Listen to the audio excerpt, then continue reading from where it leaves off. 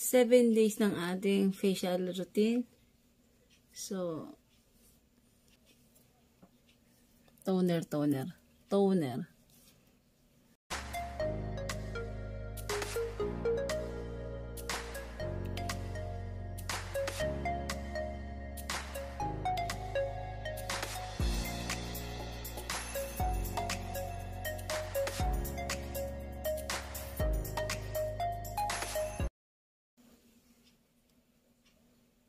Serum. Lagyan na tayo ng serum.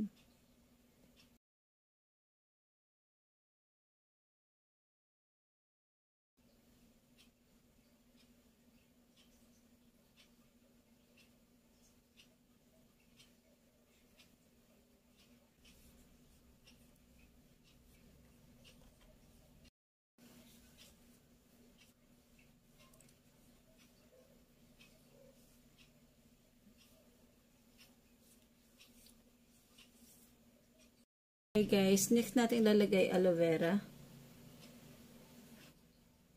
After nito, tutulog na tayo.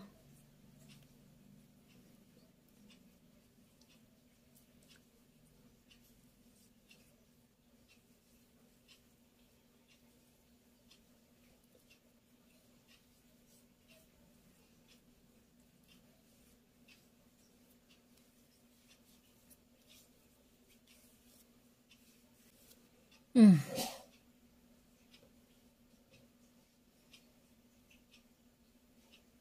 Ayan, pwede na tayo matulog. Thank you. Good night.